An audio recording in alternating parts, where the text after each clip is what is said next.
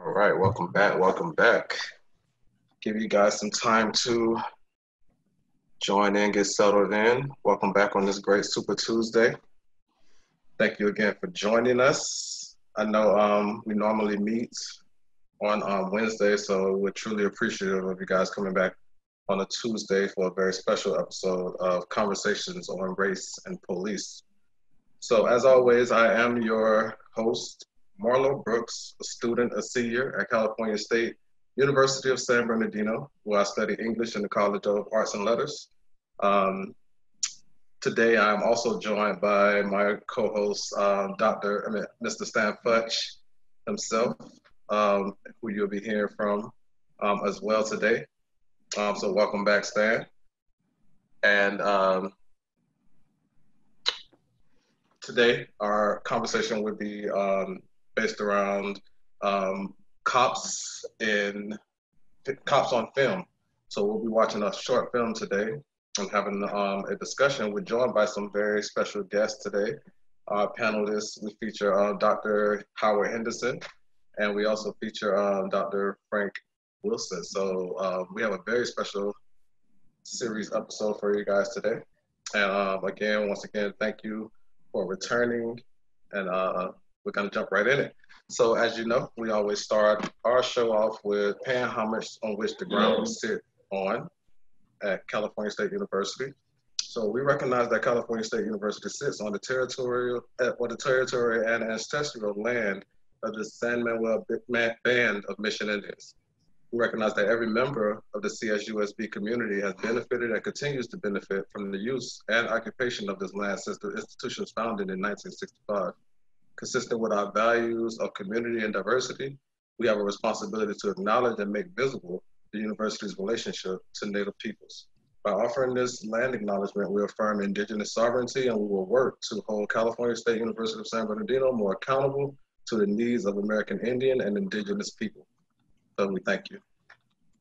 And following our land acknowledgement, we like to keep you guys updated on recent news that's going on around the world.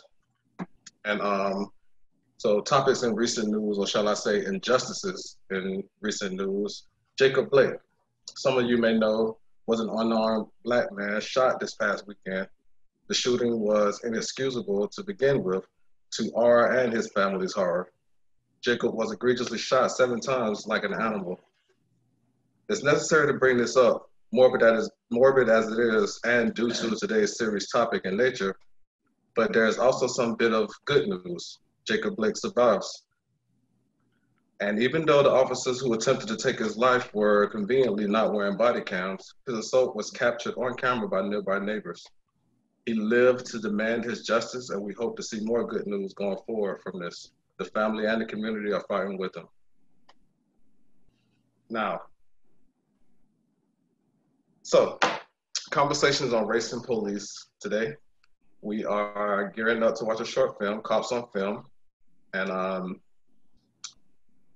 first, let me say welcome back to our 13th episode in the series. So that's huge news. Um, you guys make it possible for us to come back each week and, and have these these um, safe discussions, open discussions with um, students, faculty, community from all over the world. So uh, we thank you again for that. And um, without further ado, we're gonna get things kicked off with our film today, Cops on Film. In the wake of the most Americans have now come to realize that the police need sweeping changes. But the question is, why has it taken so long?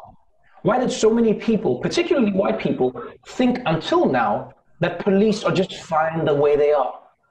Well, one reason is that most Americans don't actually have much actual experience with police.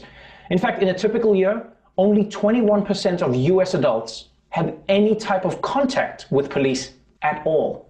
So, I mean, most Americans see the cops less than Trump sees Eric. So, if people don't see cops in real life, how are they forming their opinions about the police?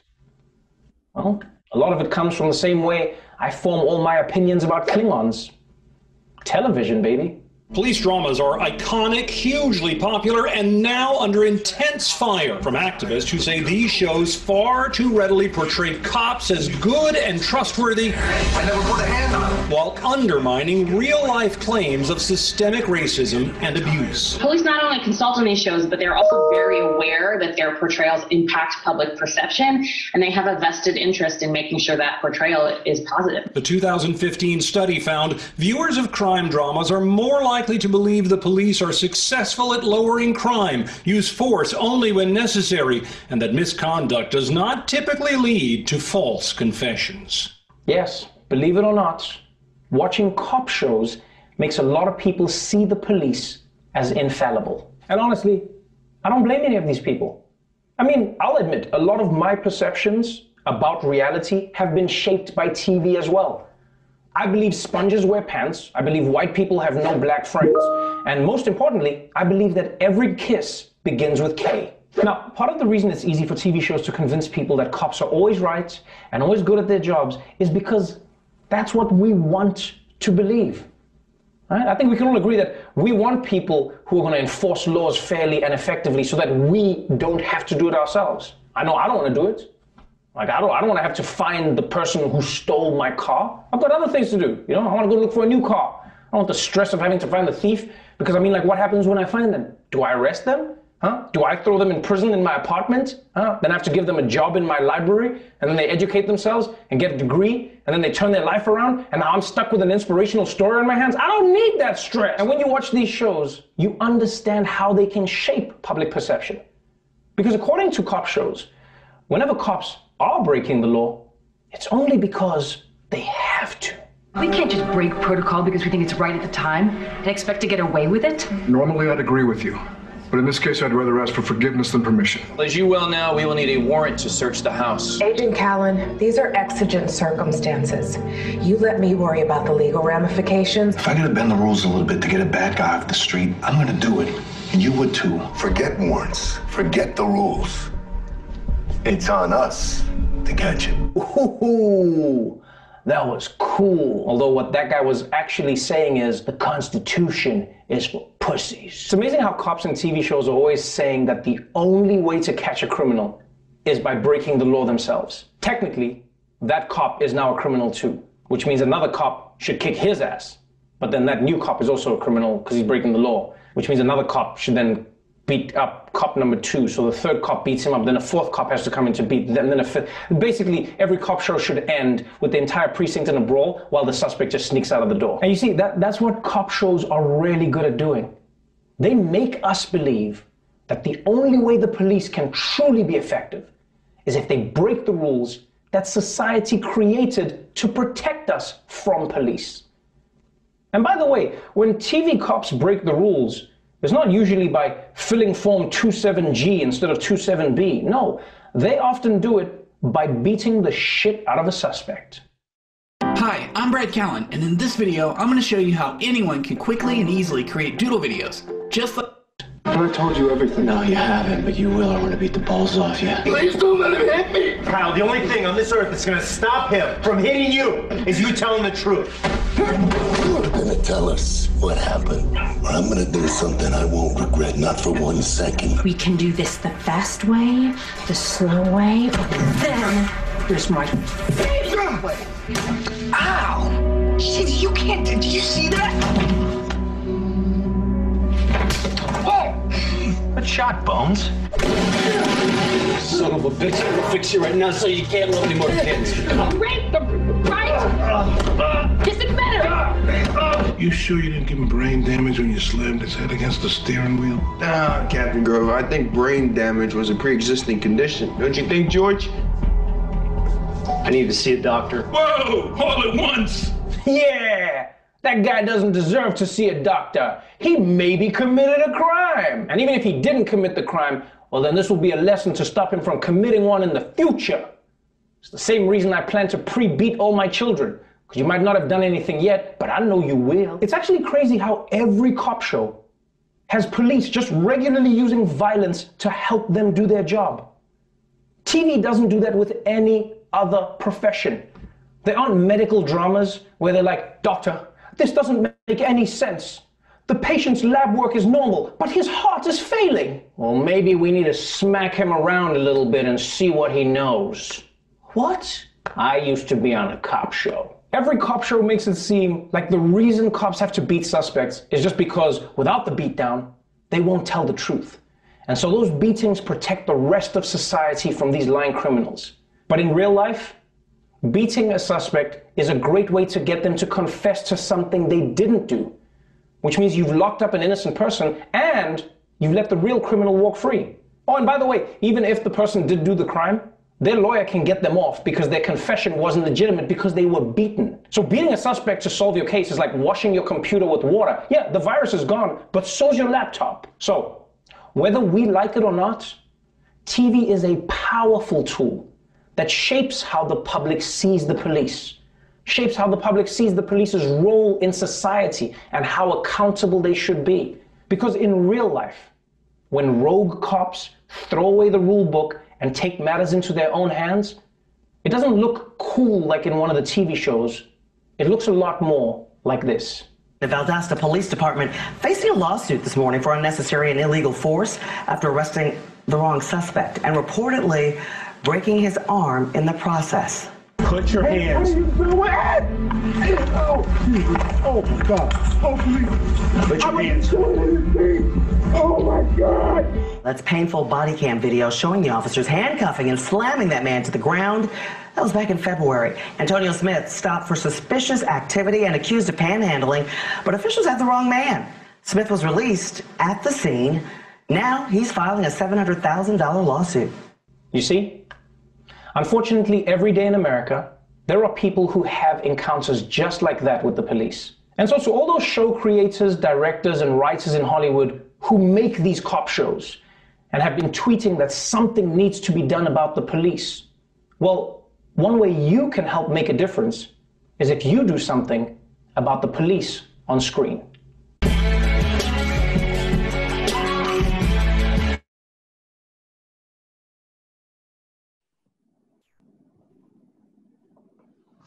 Thank you, thank you.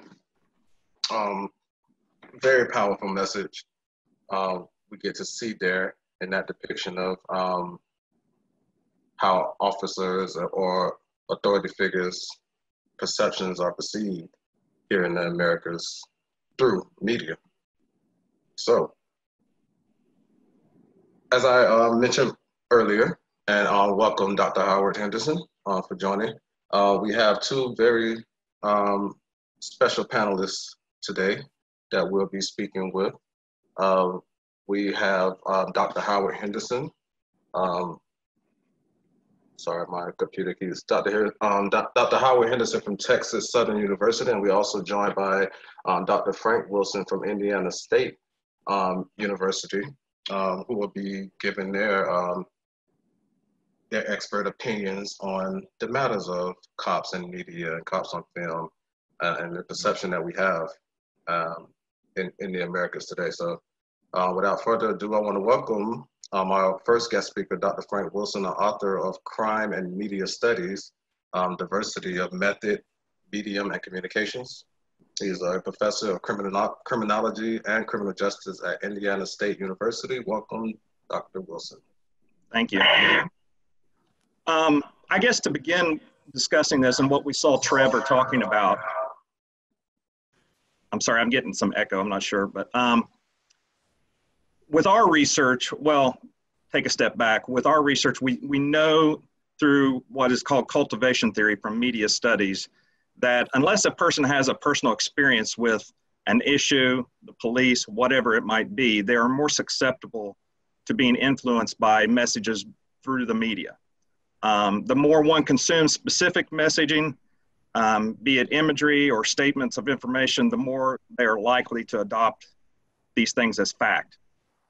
We also know that the narrower the genre of consumption, when we're talking about entertainment, media, or what have you, um, the stronger the cultivation becomes. Now, even prior, to, and I reflect back to when I first started teaching crime and media at Sam Houston State University as a PhD student.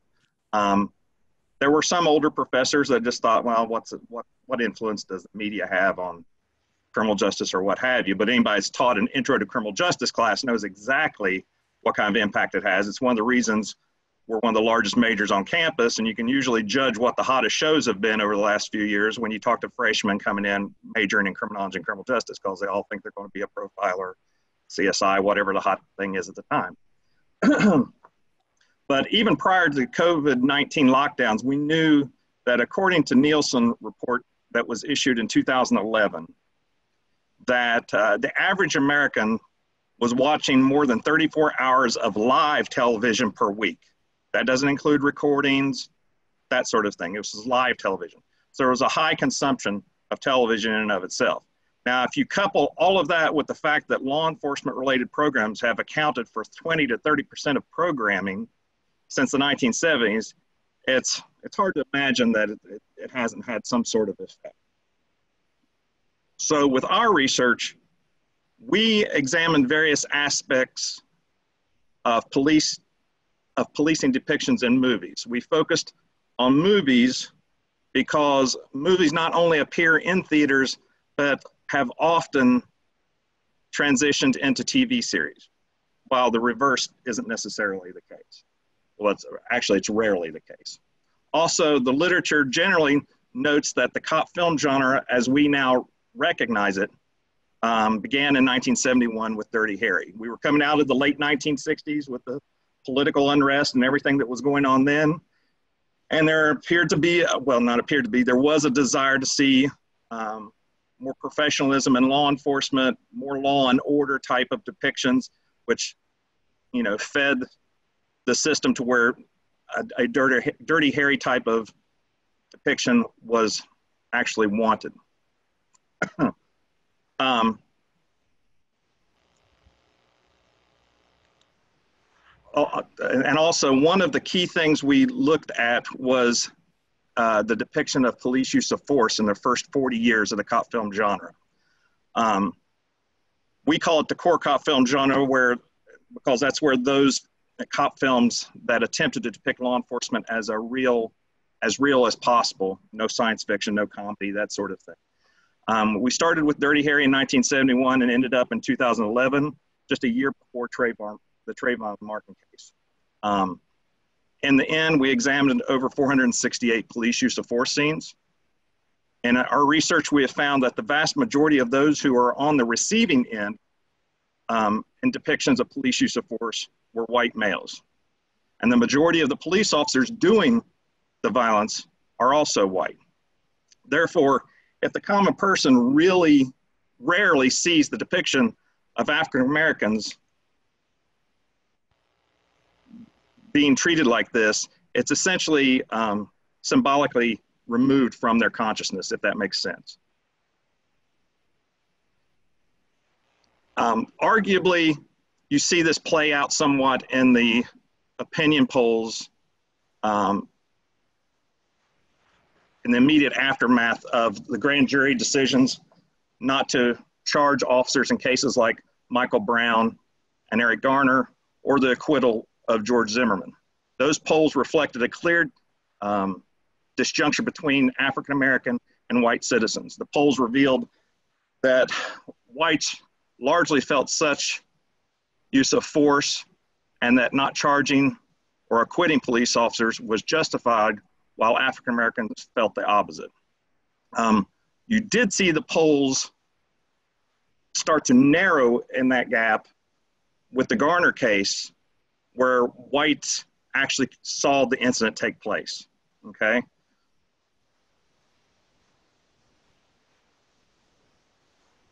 So these entertainment media depictions of police use of force have helped to cultivate a sense of reality that does not really exist when it comes to police use of force, often resulting in a belief that certain use of force cases are rare. But with more and more real life footage being made available to the general public, uh, we have seen a public, we have seen public opinions change considerably. Last thing I want to point out is that with the, with the canceling of shows like Cops and Live PD, it'll be interesting to see how it, and if Hollywood will, will transition. Um, but that will largely depend on the consumers, which I think is sort of what Trevor Noah in that piece was getting at. Um, will we stop watching our Law and Order and other Dick Wolf productions or our Lethal Weapon movies and what have you? And with that, I'll turn it back to you. Thank you, Dr. Wilson. I also felt the same way um, thinking of um, how these depictions are portrayed through media um, and create how it's, you know, and over the last 50 years of the distrust that's been formed between communities and law enforcement that serve these communities. Um, you would think Hollywood would do more, media would do more to represent it in a more correct lens so that we can get back on track to what it means to protect and serve. So I thank you for offering that that piece on that, and we'll definitely get back into that in the um, Q&A discussion. Um, I want to remind our guests at this time that if you have any questions for our panelists, um, inside or outside of today's topic, um, any questions you may have, uh, just place them in the Q&A um, section, and we would definitely um, shout you out and and, and uh, unpack your questions for you during today's show. So we're moving on to our next guest speaker of the day our next panelist, where we're speaking to um, Dr. Howard Henderson, who is um, founding director of the Center for Justice Research and professor of Justice Administration in the, Bar- in the Barbara Jordan Mickey Leland School of Public Affairs at Texas Southern University. So welcome, Dr. Henderson. I mean, pretty. Can you hear me? Yes, sir. Okay, uh, and thanks uh, for inviting me. I had a couple technical difficulties and uh, my timing was off, so I apologize for that. Uh, Dr. Wilson uh, was texting me and I was trying to log in and hey man, it's the way it goes. We we getting ready to face a couple of hurricanes. It looks like in the Houston area, so I apologize for that, but we're good. Um, you know, for me, man, you know, when you guys reached out and, and you want to have this conversation, um, I felt it was important that you know, we bring to the table everybody who needs to be here. And so that's why uh, Dr. Wilson is here because this is his primary area of research. Uh, I'm just a colleague who works with him on projects and, and uh, helps get him in a little trouble, uh, some good trouble, as they say. And, uh, you know, he's explained a lot about uh, the methodological know-how and, and what the results are. And for me, I was always concerned about uh, the impact of that image, which is beyond the scope of, of the research, but yet it's still a question that, that that lies underneath a lot of what we what we talk about. You know, I can speak to some of the experiences of, of, of working on this project, which I think is good to know what's happening behind the scenes. Um, when we were getting ready to publish this piece, um, uh, the university uh, press folks uh, were going to put out a press release. Now, I think is this the right article, Frank? Am I talking about? Was it's a different article, but the same point I'm going to make. So I saw you shaking your head. No, but I'm gonna make the same. No, point. that was a that was a. We've yeah. had a, we've had several of these. So yeah. So, but but let me make the point here. It when you start talking about race in the media, uh, folks get skittish, right? And and and what we found is that when you're looking at these, the question is, is is Hollywood trying to portray reality or vice versa? Right, which was a conversation that that we had a lot of. And it just seemed to me, um, as a criminologist, that the natural assumption is that Hollywood is portraying it the way it is. Because we know there are a lot of people out there who get their reality from what they see on TV, no matter who's putting it up there. And so I was more concerned uh, with with how you identify these issues, but also how you improve upon them. And so I want to speak a little bit about that, right? And and then think about you know what are some recommendations that could come out of this research that we can use as a um, as an assessment tool to improve portrayal of black police officers in the media, whatever you want to portray uh, from a, from an accuracy standpoint. Uh, for, for me, uh, this project was just a project in a series of projects. Uh, again, that Dr. Wilson spearheaded, and, and, and he so graciously pulled me along in. But it was all about how you stop portraying black people in the media this way, right? When you think about it, it's like, wait a minute. Um, where did you get these depictions from? Who told you that this was okay, right?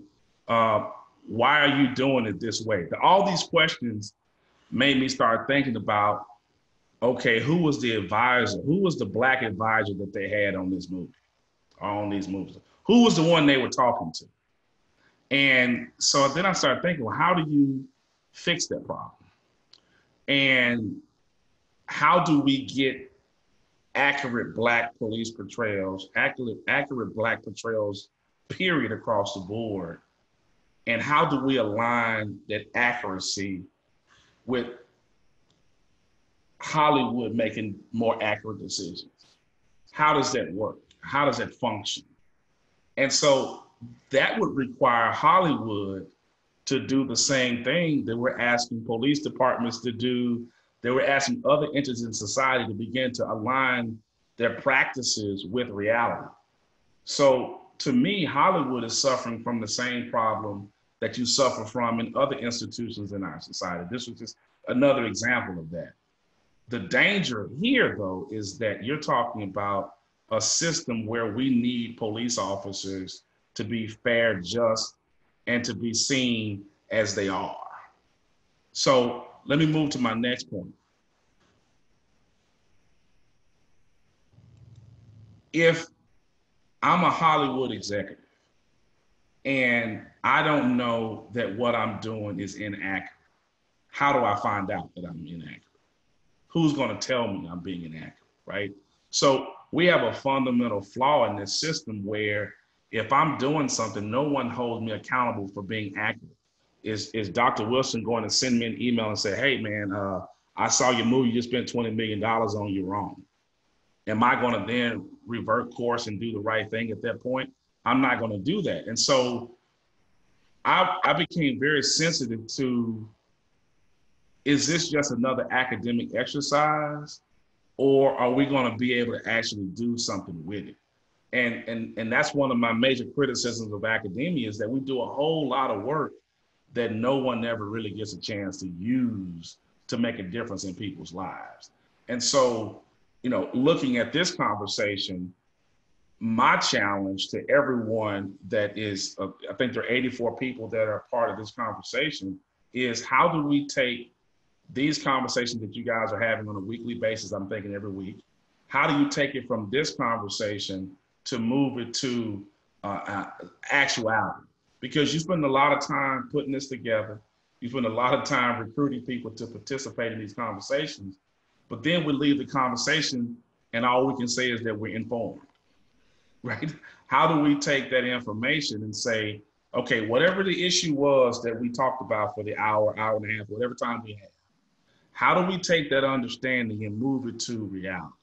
How do we help Hollywood? How do we help media folks know that what they're doing, what they're showing us is inaccurate? Because there are a lot of people that will have conversations. There are going to be some great conversations during this session. But we got to move that from the conversation piece to the actual portrayal of people in the media. So I'm I'm going to move to this point somebody's got to create a way where we have real-time systematic analysis i'll give an example you have these media ratings that come out and say okay well a million americans watch this or you know 40% of the people who watch this show look like this. Marlo i'm to ask you you can just shake your head. Have you ever been participating in a media study? Just shake your head yes or no. You don't have to answer shake your head yes or no right? Uh, what I'm saying is, who are they talking to? And so, how do we fix that? And so, I want to move from this research to actually begin because the timing is right right now for us to begin to press people to change the narrative and be more accurate in what they're portraying because we can't afford for people to be receiving the wrong message and no one not give a warning about it right if i'm watching a, a, a commercial about a drug half the commercial is about the unintended consequences of that drug. If I'm watching a movie that that's false, no one ever says, well, you know what? You just watched the whole movie and spent 20 bucks and, and half of the stuff we're talking about is not even real. You, you got to do that. We just saw a president tell people that they could drink bleach and they drunk bleach. Right. So, so, so media is powerful.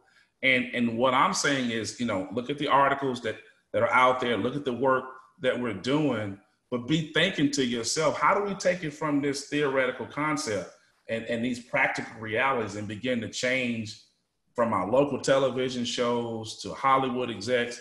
Listen, I have never emailed a Hollywood producer.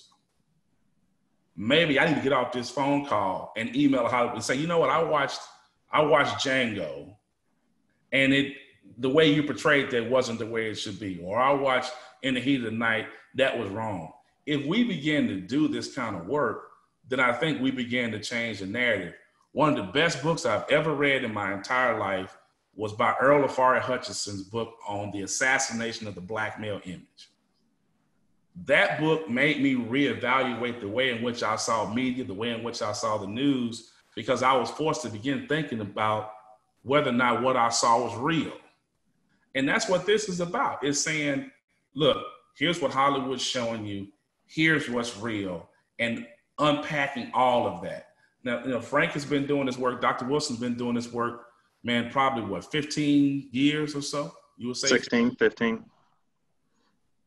We need more people in this space. We need more people to ask the right questions, but we also need people to press the folks that are in positions of authority and power to begin to make these changes because the perception or the misperception of who we are as a people is costing people's lives. At the end of the day, if we really think about it, this is not just a matter of me thinking that the police officers portrayed the wrong way, it also goes into the respect that I give that individual or the lack thereof. It also goes into our whole understanding about who a people are. And so I think that if we're able to deconstruct that and demystify that for its accuracy, then we get better information coming across our screen. But the last point I want to make here is this. When we think about the portrayal of, of Black officers in the media, we also have to deal with the reality of the black officer. Right? When you watch these TV shows, most of these black officers were portrayed as comedians, as jokes. As far, am, am I right, Dr. Wilson? They, yeah, uh, the, the research he's talking about was a paper we did a few years back that dealt with the depiction of African American police officers. I spoke earlier about the police use of force paper we did. So, what he's talking about, they the movies, what we found is they when they depict when they depicted an African American police officer, they were depicted either as a joke or and or a sellout to their own community. Right. And, so, and go ahead. And, and so for me, that's troubling because if if if I'm a college professor and I'm training future criminal justice employees, a lot of whom will go on to be police officers, and the media portrays them as a joke, don't nobody want a job as a comedian. Well, there are some people who want jobs as comedians, but I'm dare say that most of my students did not come to college to take a to look for a job that's going to be seen as a joke or a comedian. And so I think at the end of the day, we have to do a better job of making sure that what we're watching on TV is accurate because that accuracy means a lot. And we all come from people who have not been respected their authority is not respected, their position is not respected, and it's danger in that because the accuracy of the portrayal, I think, is, is what really matters. And I'll, I'll, I'll get off of that, but I, my point here is this: we have to be systematic about taking what we find in this research and moving it to another level where we can actually make substantive changes for people in this society. Thank you as well, Dr. Henderson, for those words um, we often gather as resident and community members um, for city hall meetings and attempts to hold our um, city officials um, accountable for their actions um, upon the city and the communities. But um, we, we, I rarely see that in, in Hollywood and in media when we hold them accountable for the depictions that they, they place.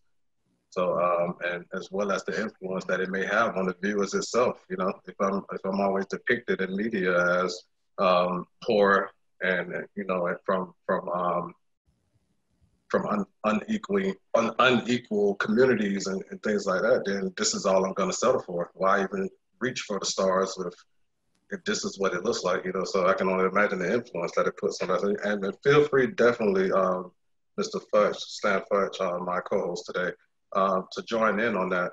Um, we see that a lot here, just in San Bernardino, California. Um, the, the unrest and unjust, and uh, just the uh, the quality of life that's that's been placed upon us for for decades in just San Bernardino itself. San Bernardino um, County, one of the largest counties in the nation, the largest county in the nation itself, with um, what the number three um, standing in the nation for for crime. So when we think about these type of things, um, I can only imagine the influence that um, what they what we once were speaking on was music, but now we have to heavily, you know, put our foot into what what's being projected into our homes as well and into our communities as well. So I thank you for speaking on that too. Yeah. Of the police uh, movies. Are you getting feedback? Yeah, I can hear you. Okay, I'm, I'm a fan of police movies, and, and uh, both both speakers had real really good points. And and and uh, Frank, you mentioned that um, majority of the people killed by uh, uh, white cops were white uh, perpetrators, and but at the same time, if you looked at the perpetrators that were being killed, now we'll go back to Dirty Harry. The the in the first Dirty Harry, the the guy kidnapped a young girl, murdered her in the worst way, and, and then he got a bus full of kids, and at, at the end of the show, he died. And he, you know, policeman shooting him, you know, and killing him.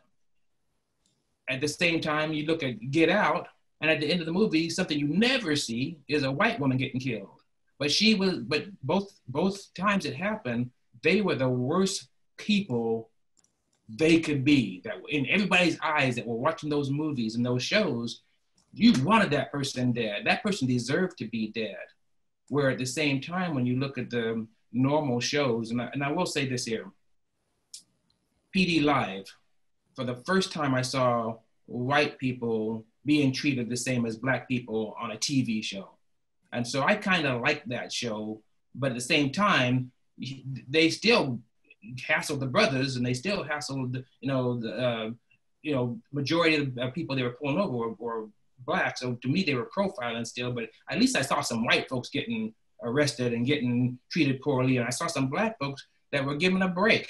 You know, you know, my brother always uses this term, "Give me the white boy deal," and I saw some brothers getting the white boy deal and I thought that was pretty cool on on uh, PD Live, and so I was kind of disappointed that went off the air. But all cop shows, another one I love is 48 Hours. But who do you see on 48 Hours? Brothers, brothers killing brothers, and and I think one of the things the media really loves to do is show us in our worst way, and that's a shame. And I think uh, uh, Dr. Henderson put it right who were they talking to?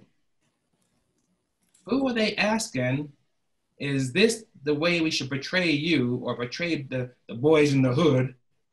And and they're not. They're not asking anybody. So they're just doing their own thing. And then, like he said, when they get brother, you know, Chris Rock, a cop, and he's a comedian.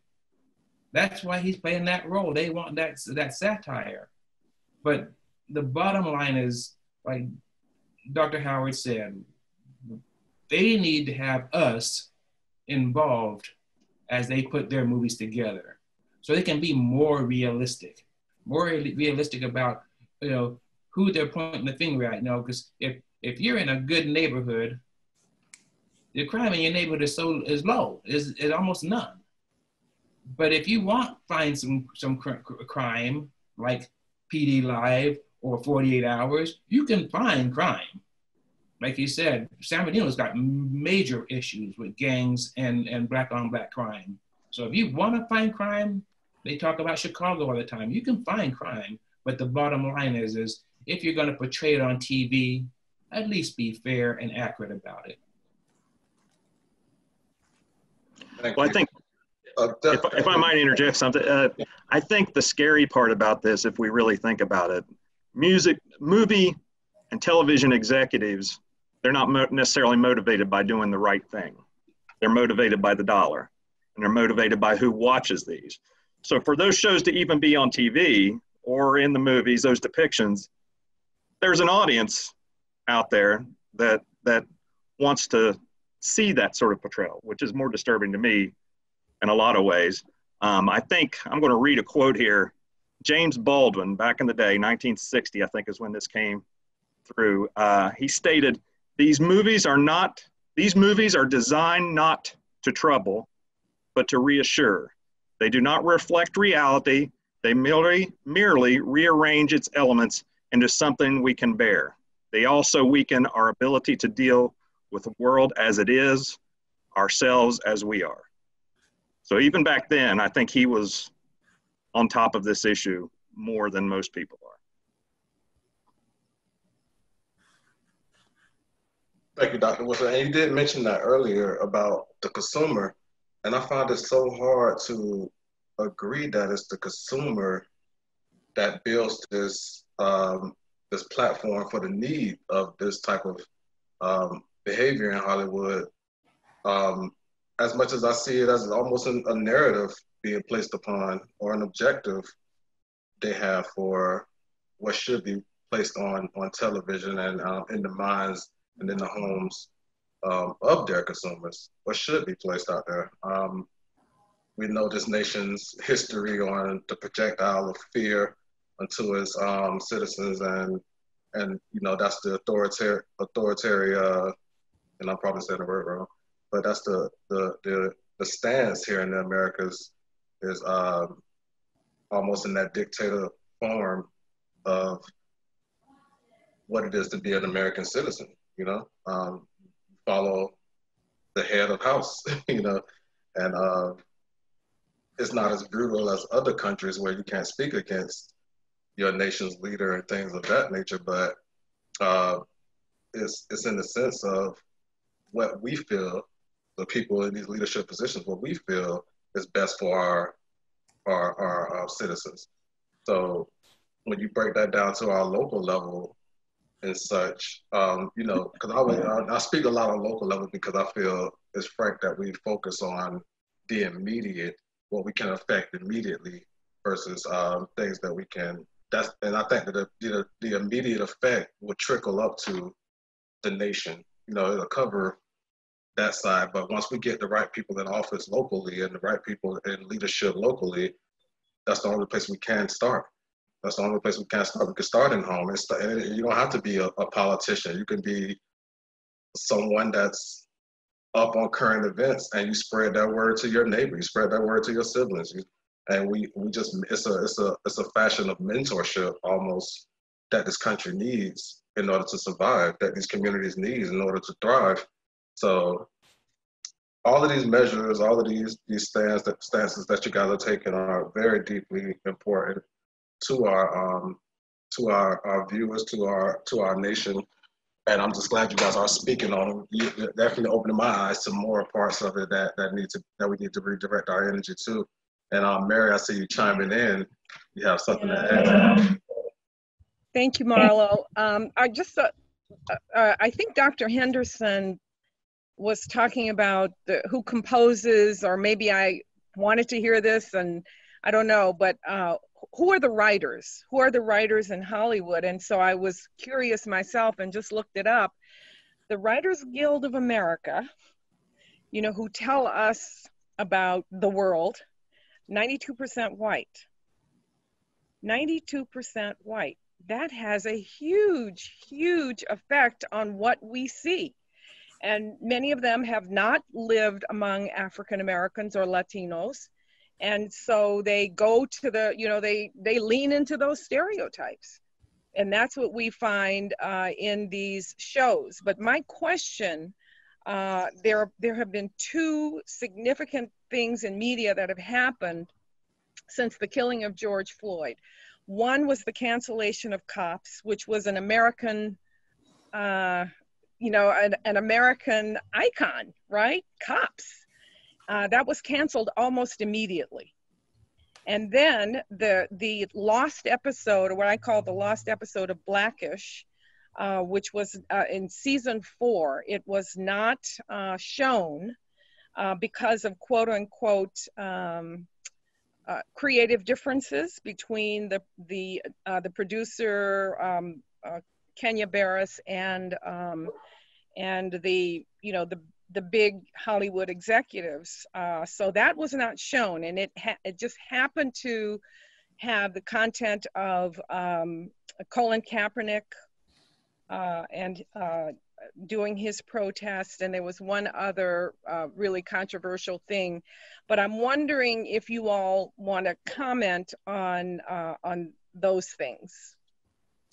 I can I can uh, make a comment. I, let me preface that saying that when you think about what's in the media or what's been taken out, you have to put that in the context of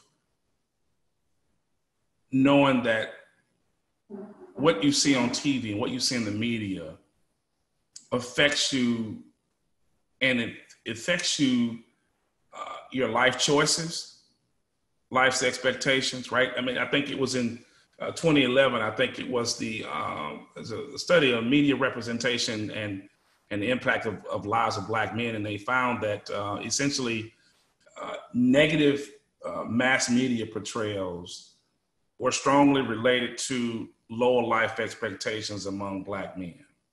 Okay. And in those portrayals, they the media constantly reinforces the same narrative of black men, right?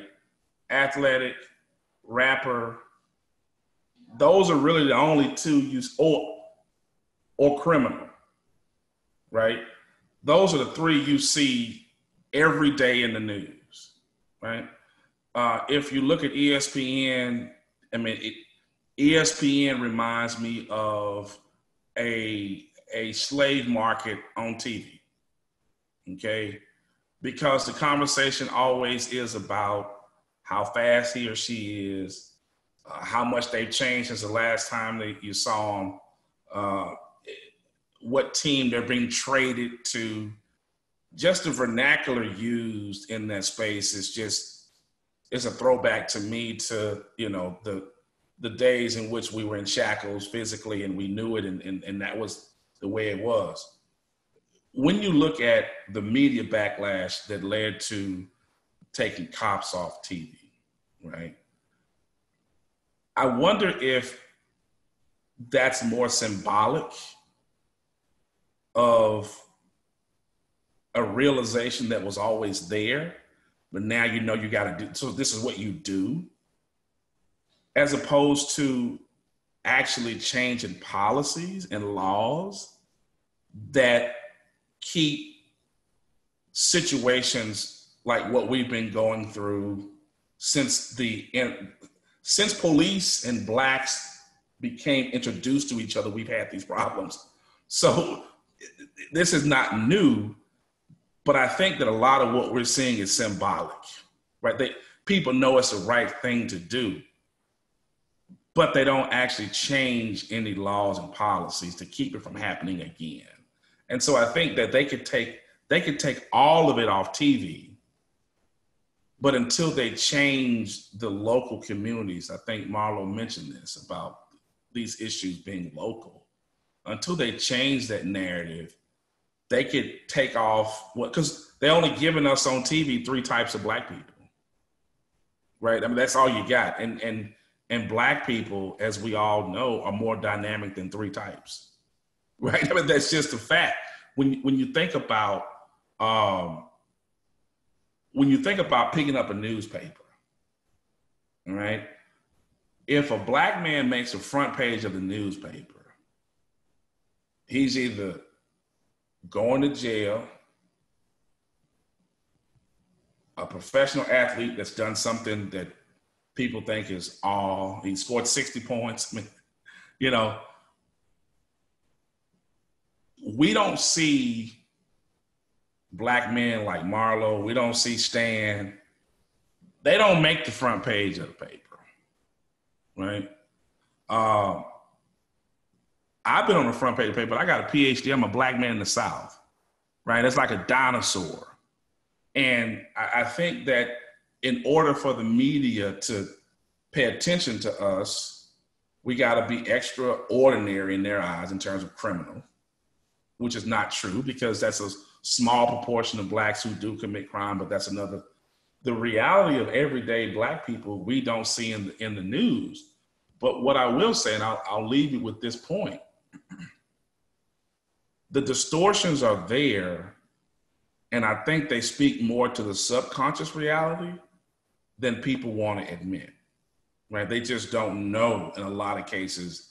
That, but it but it tells you a lot. And I, I'll give an example, and I'll leave you with this. I had a puppy that I raised from from the age of like six weeks old. And like the typical black household, the typical black household, there weren't many white people who would come in and out of our house. And when that dog saw a white person, he would go nuts. Okay. And I realized, like, wait a minute. This dog is telling on me. I need to train this dog. This dog needs some diversity. Okay. I'm just being honest. That's the way it goes. And that's how people are, right? When we don't associate with people of other groups, when all we see on TV is the perception of what Black people should be like, that's the way we govern our affairs with that group of people, right? Uh, and, and Hollywood and, and media, all the way down to the local news, they have a function, a role to play in this space and if anybody's going to help diversify people's perspectives, the news can do it. Blackish, I think, was a great example of a, of an approach to try to do that, but it wasn't a Cosby Show, right? Now I'm gonna say Cosby because I like the Cosby Show. I'm not supporting what he's done lately, but I like the Cosby Show. I thought it had a function in society.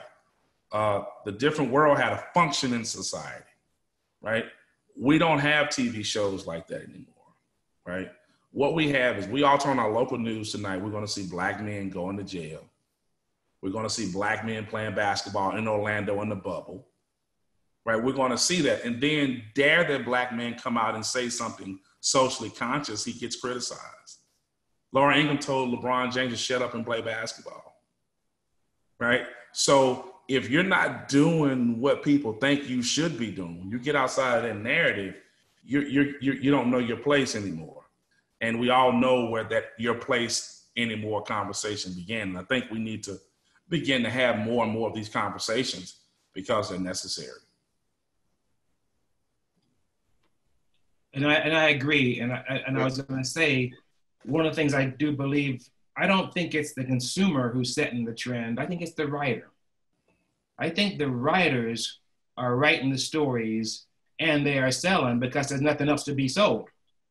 So when you have a when you're portraying a black man as criminals or athletes or some they have to be somebody Superman, you find that I don't think it's the consumer that's want, that wants to see that mis, mis uh, understood black man. I think it's the writer who's doing it. I'll now give you a good example.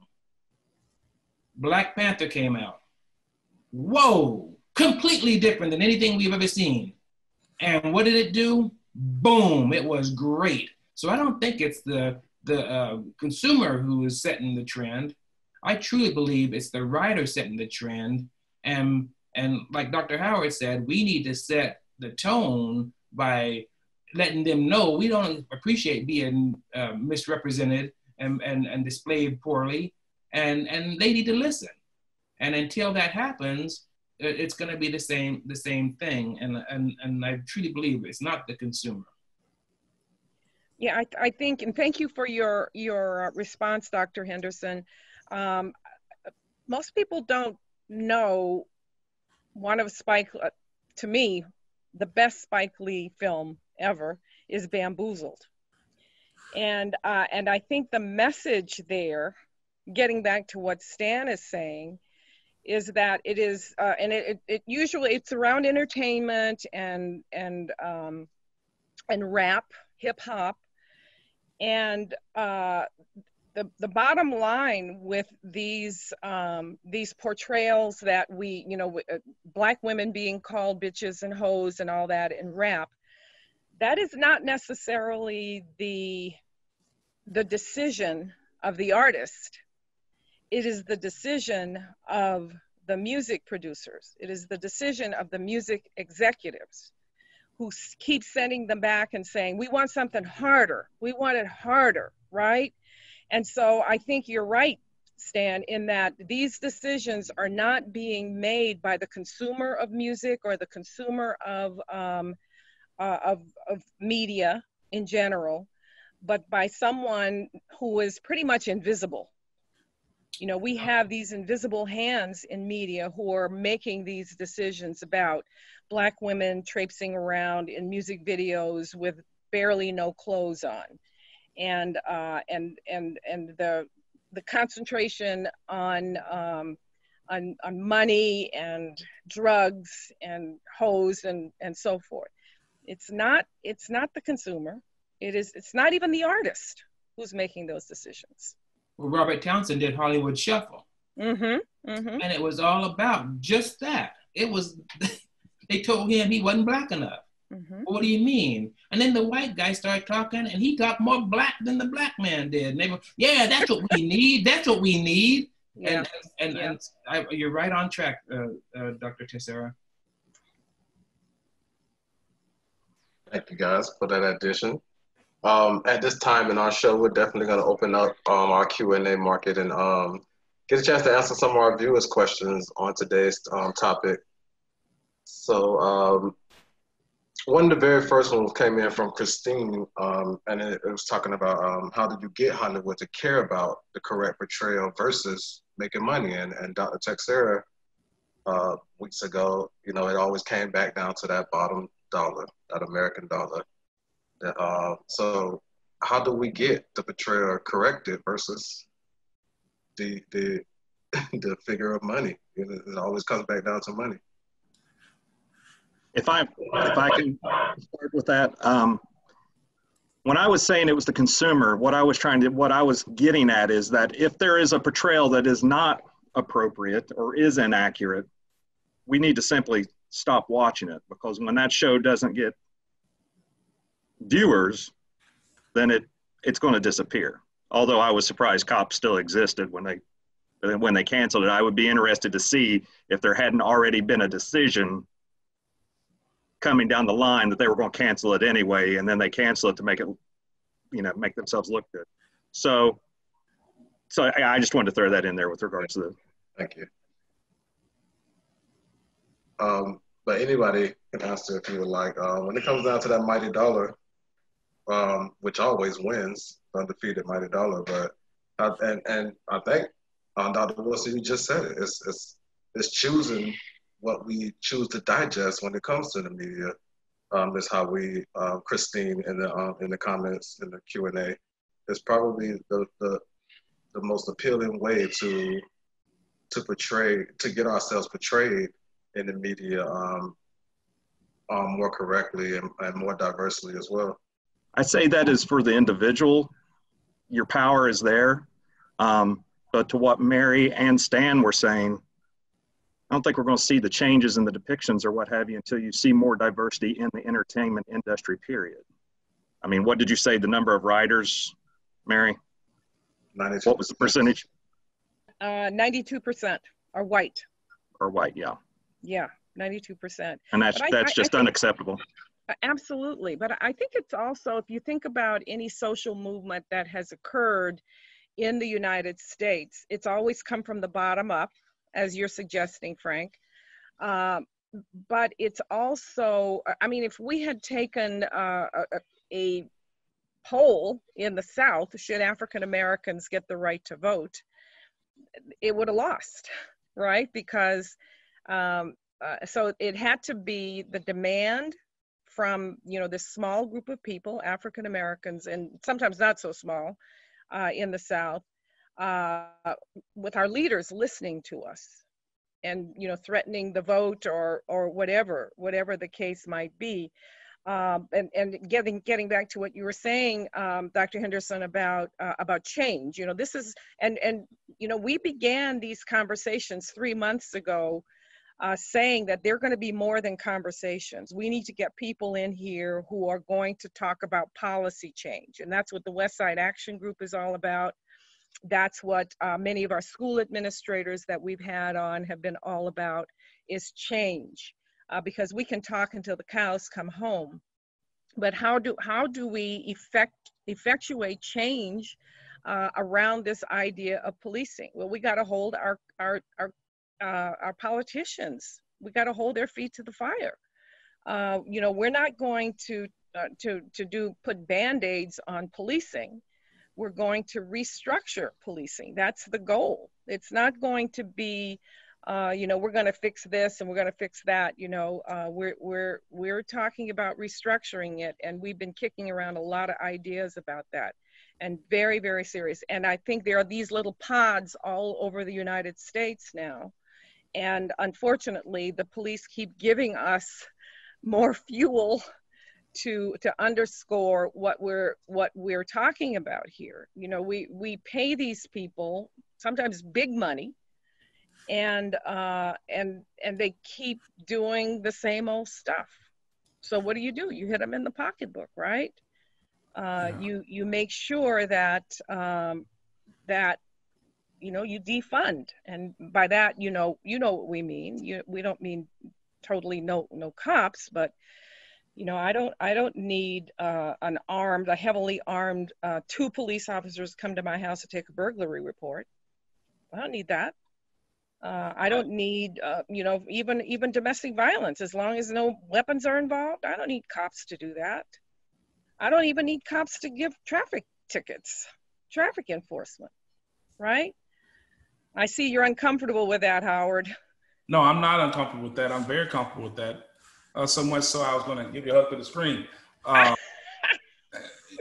Uh, I, I, think you, I agree totally with what you said. Um, I think that you know, the the purchasing power. Uh, I think at most recent count, there were a little over 47 million blacks in this country. Uh, I think that when you think about uh, the 1.1 trillion dollars that we spend, um, I think that when you think about the fact that we spend more money on, we outspend people on things like soap, uh, grooming. We we we outpace people on a lot of products. We gotta smell good. We gotta smell good. We gotta look good. we also believe in paying extra for items that convey images that look like us. Right? And Nielsen has shown this every time they put out a report on our spending dollars if you make your product appeal to us, we buy it, and we'll spend more money for it than any other group in in this society. Um, we are influenced by the staff in a store. We are influenced by in-store advertising. We are influenced by merchandising. Um, we dominate the ethnic hair care market. We dominate the whole notion of branding for social causes. Um, we dominate celebrity designing. I mean, there's so many things that I think that we don't understand collective power. But I think that goes back to our plantation experience. And we were never taught that it doesn't matter if we don't speak the same language we share a similar condition and we're able to unite to begin to force democracy to respond to our request. And we have yet to this very day figured out how to ensure that the Constitution applies to us. And as you said, we, we have to hold our politicians accountable. We have to hold our religious leaders accountable. Mm-hmm. We have to hold our academics accountable. We have to hold our athletes accountable. We have to hold our white friends accountable. Go ahead, smile, Frank. We have to hold every, even ourselves, we have to hold accountable. And I think that we're going to have to figure out at some point that what we're asking for, we've never seen it. So, at what point are we going to sit down and draw the map? Because we've never done that. We've never said, let's sit down and lay out what this should look like and how we get there. So, we have been fighting for advances in respective spaces, but we've never seen the Wakanda. We've never seen the place where we want to get to. We don't know what it looks like. Even when you're mentioning policing, what if defunding doesn't fix it? Because there are some people who say it doesn't matter what you do with the police, they will create an institution to overlay that to control you. And so those are the, what are our contingency plans? And so I think I am with you. I think a reallocation, figuring out what I think we need more social workers in policing. I think we need more people who understand conflict resolution in policing. I think we need something other than what we already have because what we have isn't working. My fear is just whatever we create is going to reform itself into what we got rid of. And so I just don't think we've clearly articulated what we want to see, but but at least we're having a conversation. You know, right. Think- and, and, and I'm sorry, can we rule out training? Because well, you know, uh, when the the way the way police patrol white areas, you know, they don't need any extra training for that, and so we should yeah. we should probably ask for the white treatment whenever a cop comes to our house or something, right? I think you're absolutely right. I don't think training is the issue. Mm-mm, mm-mm. It's the excuse. Mm-hmm, mm-hmm. I think that if black communities were policed like white communities, we would see very well trained police. Let's just be honest. Even black police are trained well. Mm-hmm. Numbers, right? We we looked at data from the City of Houston Police Department, the police shootings. Black police officers rarely shoot people, right? And they have the same training, they work the same jobs, and they experience more discrimination on the job. Mm-hmm. But they shoot significantly less than any than anyone else. How can they do it? So I don't think it's a training thing. I think it's a personality flaw. Yeah. I, I, think it's a matter of who we choose to be in these positions to work. I think we choose people who have authoritarian personality styles. I think there's so many. So I think it's a hiring problem. I, I think it's a cultural problem. Um, when you when you think about, um, for example, we saw recent cases in Texas where border patrol agents were abusing the migrant workers who were coming across the border. That's a person. I don't care who you are. If if if I'm a border patrol agent, I am not going to abuse anybody coming across the border. I don't care what kind of directive I got from top. We all have worked jobs, and we all have done have not done something we were told to do because we disagree with it. So if you follow orders that I know are unethical, then that tells me a lot about you. So I think we need to begin to have these conversations and hold people personally accountable and not allow them to say they need more training. Eh, okay. I was on a panel last week and, and it was interesting. I heard um, black officers and they said that one of the biggest problems isn't the training. They said the problem is is when that person walks through the door, they are already have ideas of what, who they are. They are who they are. Right. And, and and I think that's that's very true. I also think that um, a lot of the questions are about um, uh, teach telling the media. Let's see, what did it say here? Let me get one of the questions. Uh, for the media to have to be uh, told that they have to regulate, you know, regulate the information the media is spreading and make sure that the media, the information they're spreading is, is accurate. And, and I don't think that's necessary. I think what Dr. Henderson is saying is very necessary, and that is, is if you take a look at what the Black Panther made in their revenues, wow, it was huge money, and they're still making money today, and they and they were getting ready to release a second one, and it and it, I mean it made so much money. So so the fact of the matter is is if you hit them in their pocketbooks, in other words, they start putting stuff out that's more accurate and people go to see the more accurate depiction of, of themselves and so on, the funds are going to come in. They're going to, eh, eh, they, but they have to have people on scene that are telling them a black man would never do that. He would never run behind the chainsaws when the guy is trying to kill him. He wouldn't do it, you know. And and and so the bottom line is is it, we need to have people in the game to correct the game. I, I think also uh, uh, writers operate like dictators, and they need to operate more like socialists or, or in a democracy, right? Because as you pointed out earlier, and I, I think uh, Dr. Wilson pointed this out as well, they shouldn't be able to just sit down and write and present a story without any support that their story is accurate. There, there should be uh, fact checkers to make sure that what they're saying is is is on point. I think I responded to one of the uh, individuals who uh, so graciously is participating in the conversation in the chat, and and their comment was, "Do I believe that Hollywood talking to one person is enough?" No, I don't. I don't agree with that because black people, like white people, like Asian, are are are, are very heterogeneous, right? And I I would be okay with them just talking to somebody though, right? Because I think talking to somebody is better than talking to nobody and making an assumption that you're actually portraying everybody. And I think that's we, we just got to get away from that. But we all understand it. I mean, there's the, the maybe the way Hollywood is set up, uh, they're able to get away with doing it, obviously, because they keep doing it. Um, they're not held accountable.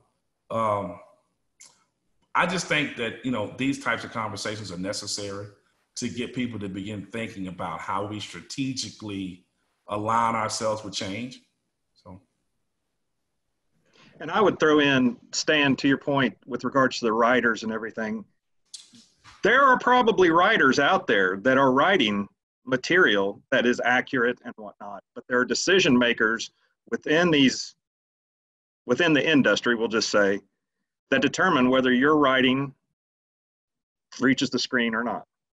So I, I, totally agree because, like Mary said, you know, half these rappers, you know, a guy puts out a clean rap song and the, and the industry says, "What? What is that?" go back to your old self. You know, Dr. Dre came back, and first thing he came back, instead of doing a, a smooth rap like he's been was doing, he came back gangster. It's like that's that that's that's what they wanted. That's what he believed they wanted. But the truth of the matter is, I don't think people want what people think they want. No, just quit thinking for me. You know, you come out with a with a, a nice, you know, uh, smooth uh, R&B song, and I'm happy. You know, I don't necessarily have to have, and I like rap. I like, I listen to rap. I like rap, you know, because they got some good ideas. Brother says, don't buy no $80,000 car before you buy a house. That's a good, that's something that's good to be been said. But I don't need to have, hear about bitches and hoes. And so I think you're right. The decision makers, and, and you're right, it could be not the writers, because it could be the decision makers. I have nieces and nephews that book, uh, have written books and, and they're doing very well and their books are not. They're very well done. If it's going to be made a movie, the only way it's going to be made a movie is Oprah Winfrey gets a hold of and says, "I want that to be a movie." So her, she's a decision maker, but the other decision makers aren't making those those positive decisions. And I think I agree with you, um, Dr. Wilson. And I, I've been around long enough to have had, uh, growing up in LA, seven channels on the television and three or four uh, uh, rock and roll stations. And I remember, you know, watching ballet on television because that's all there was and started to enjoy ballet or I love Lucy or, or, um, you know, so, so we consume what is given to us. And I think young people today don't realize that there's more out there than this hardcore gangster rap. And uh, maybe there is a place for it. Maybe i'm seen as an old fogey for but you know our consumption you know just like food put something in uh, you know it's going to have an effect on you. It's going to have an effect on your psyche on your on your brain waves on whatever and um and so i think you know ballet didn't hurt me i love lucy didn't hurt me uh you know the donna reed show didn't hurt me um, and so I think uh, I don't know what the answer is. I do know that there has to be, and I, you know, this is a trigger word for me, diversity. You know, because I think you know it's much more than that. But I think that it, it would be interesting to see 50% of the writers in Hollywood being people of color. You know, Latinos, uh, African Americans. Sorry. One of the problems, Mary, is we we're dealing with like Dr. Howard said, you know, if we could collectively got all together, all every black person in the United States, and demanded different things as a collective, we might make be able to make a difference. But when you talk about, you know, the the the rap song, the number one rap song that actually made it to number one was by Vanilla Ice. All them brothers have been rapping for years, but yet Vanilla Ice's rap song goes to number one before any of the brothers' rap songs do. And so what I'm saying is, is collectively we could make a difference. But the bottom line is, if you look at the numbers, we have seven percent. Some places have ten percent. Some places have even eleven percent. But eleven percent doesn't make the rules, and that's where the problem I think lies. Um, the next question I'm gonna, I hope I'm, you guys can hear me. Okay. All right. Uh, I had a, a, different screen up. Um, the next question I'm going to go into um, is coming from an anonymous member of the of the attendees tonight. Um, but it spoke on um, law enforcement officers see the worst of people in their darkest times, um, which caused law enforcement officers to either have emotional issues or desensitize themselves of things that they see.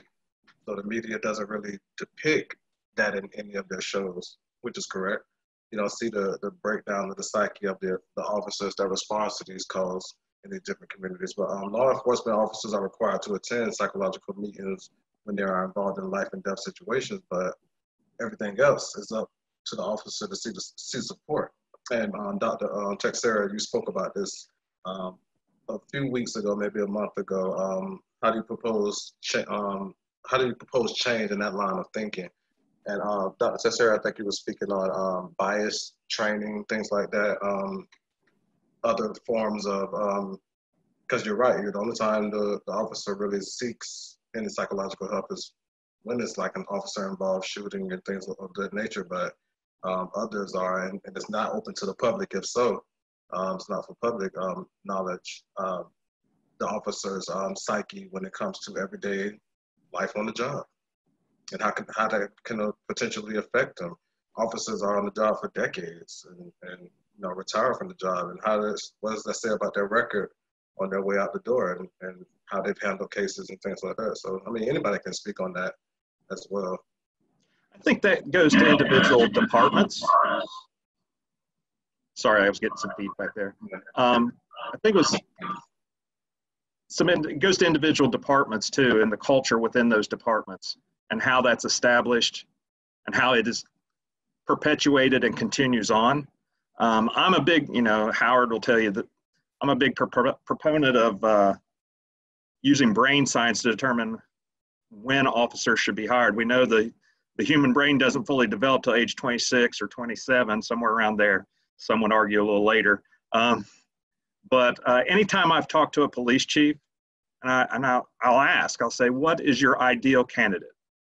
and almost every time they come back, someone a little older with a little with some more tools in their toolkit, something to that effect. And essentially, they're saying someone older that's more developed and can resist being indoctrinated into doing things. And as Dr. Henderson was saying with regards to the, the border officers, be more willing to say, hey, no, I'm not going to go along with what you're doing. So that's my thought. And and Dr. Henderson also said that, uh, and on one of his interviews, uh, which I liked a lot, was officers being hired should have education, and I think they should. And the reason why I think they should is, and it, it's not going to change the cost of living for for the, the cities if a guy walks in with education. If you look at the salary for um, LAPD, uh, the first salary is 56k uh, a year, but it goes up to 156k a year. So they're paying those those those uh, individuals good money to do their job. So I think if they came in educated, they they would have also gone through classes that gave them information that's so vital to the job. Like uh, Dr. Howard said, uh, psych classes, classes that could help them interact with people on a daily basis in a better way. I, am glad you brought that point up because um, you know I've been pushing that because the research supports it, and period. And you raised a point that I hadn't really thought about, but they're already being paid college degree wages, right? You and, got that right. um, as as a matter of fact, I know they probably make more than most social workers, uh, most probation officers, most parole. I mean, ask me because I know that's what I used to do. But uh, I just don't understand. Well, I do understand because I think that policing is one of those entryway jobs into uh, society, like education, like teaching, right? And so uh, there's this fear that you're going to close off another opportunity for people to climb the uh, socioeconomic ladder in this country when you lock out individuals who don't have uh, college degrees. But I think that if you have a person who is uh, able to serve as the judge and the jury, and their constitution is protected in that decision, they should have obtained a certain level of education that we know you can critically think uh, among people who think differently than you. Uh, and and I know there are some good police officers who don't have college degrees. And listen, there are some good people everywhere, but there are some occupations that just demand it. And I think policing is is one of those places. Um, but I think another issue that we have to talk about is where do we go from here? Like, like what do we do? We see all of these um, nuances in our society that we that we just talk, talk move right on past it. But but the implications of this though is is, is serious. Right? And some of this stuff is life and death. We just saw in in was it Wisconsin two days ago? Uh, the young brother was was was shot, uh, what seven times for for walking to his own vehicle with his kids in the car.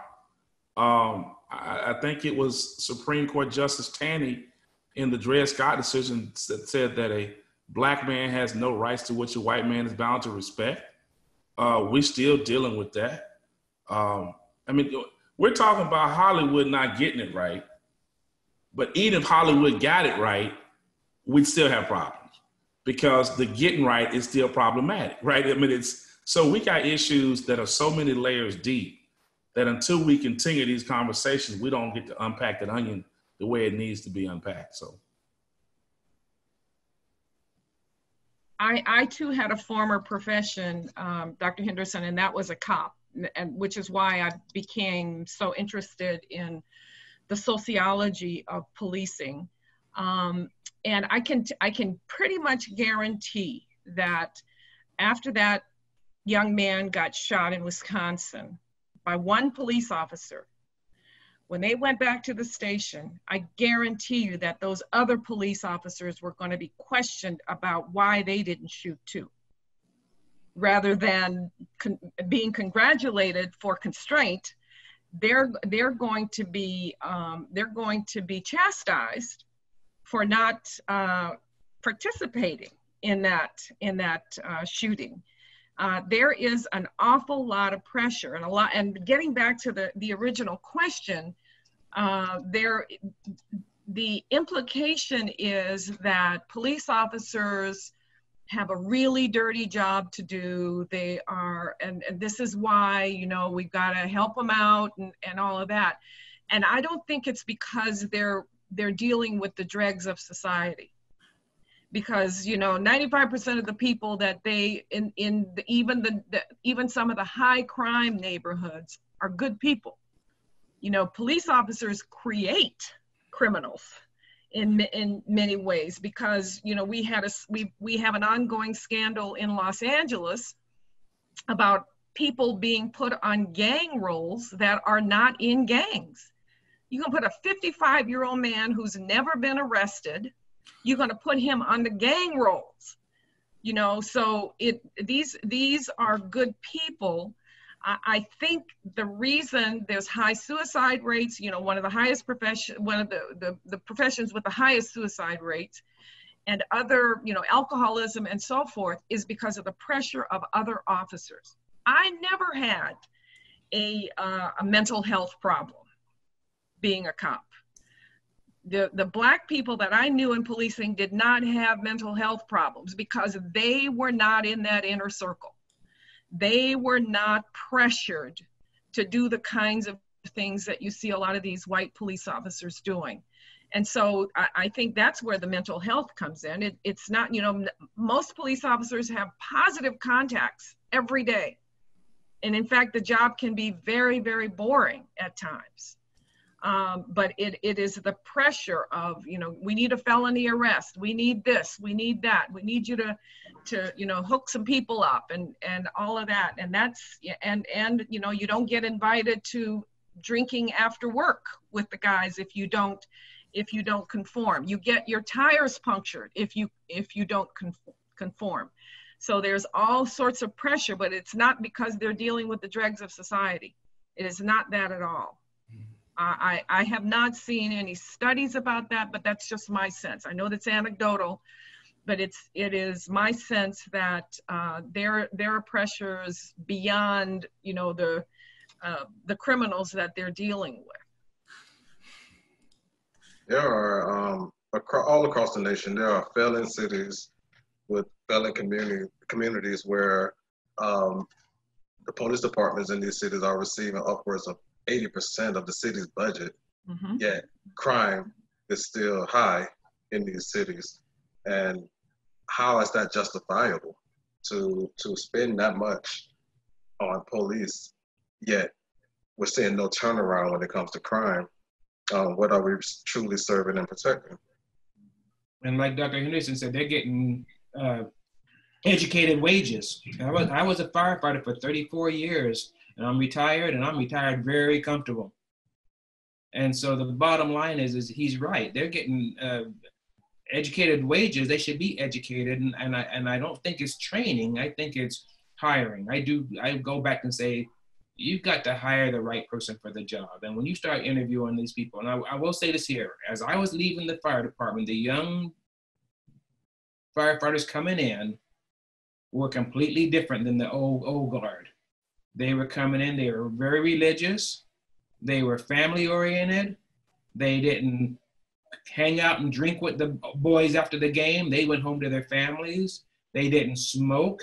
So the, there is a change happening in the fire department. Now I have I wasn't a police officer, but in the fire service, I saw that change coming on. I thought it was the neatest thing. Look at these young men with with uh, good ideas and good intentions. Now, as far as police officers go, I don't know. I, I hope it's happening there too. I don't see any evidence of it. I really don't. And you know, there's a there's a lot of interaction between firefighters and police officers. Uh, they see themselves as the guardians of the community, uh, albeit you know firefighters don't don't have weapons and that kind of thing. But there was just a, a news item yesterday where firefighter punched a a, a, a suspect um, and I don't know how often that happens, but I'm, I'm glad to hear that you are hopeful about, about the new people who are coming in, Stan. Uh, I'm not so hopeful though. I think I, my sense is that it's gotten worse or as um, is it Will Smith says, it hasn't gotten worse. We just have more cameras. Um, yes. So it's always been happening. It's yes. always been happening. And that's why history is so important, right, Jeremy? Um, history is, uh, it, it, informs us that modern policing came right out of the slave patrols, came right out of uh, uh, Jim Crow and, uh, and, and, and beyond. Uh, and so, they were established to, to chase down runaway slaves. Sure. Still doing it. Yeah, Still doing it. doing it. Yeah. Yeah.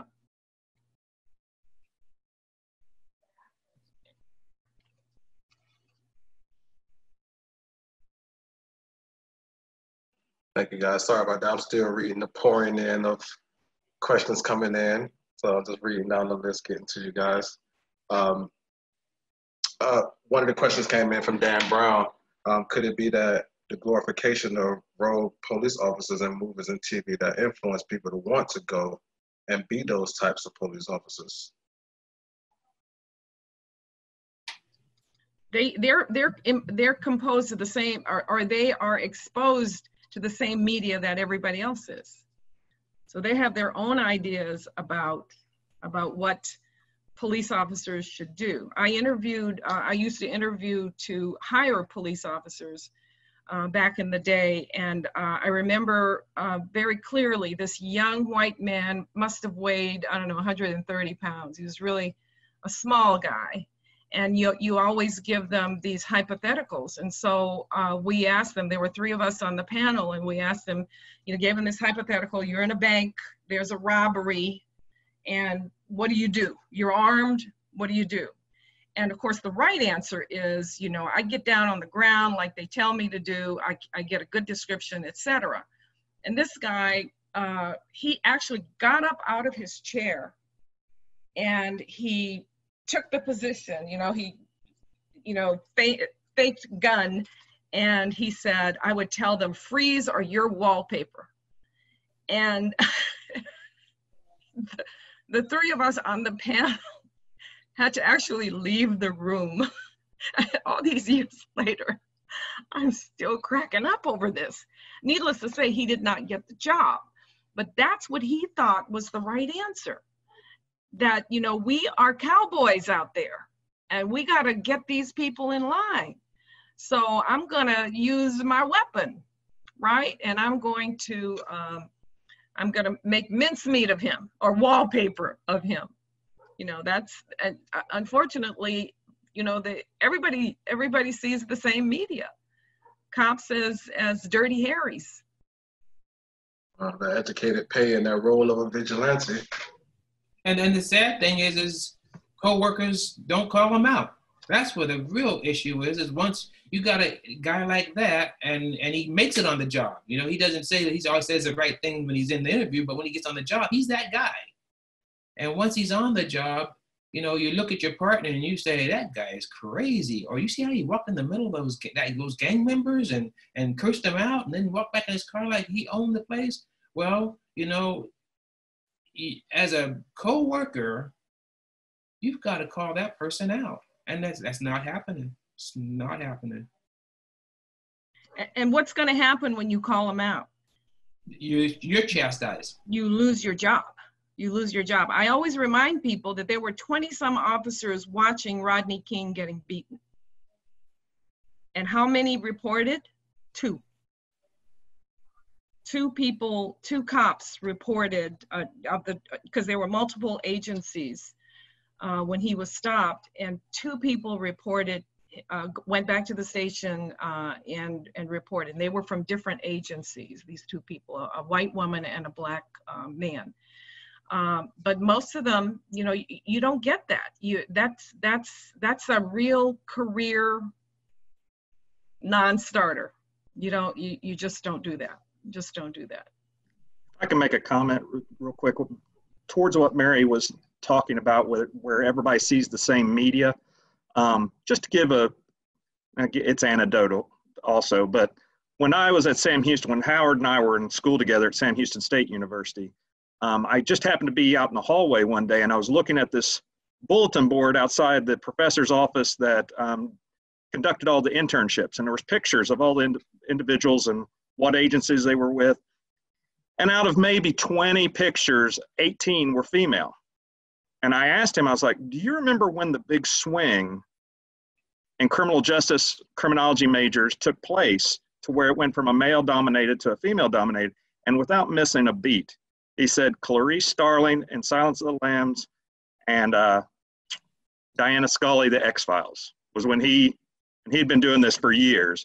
And I think I look at our majors at Indiana State. We're the largest major on campus.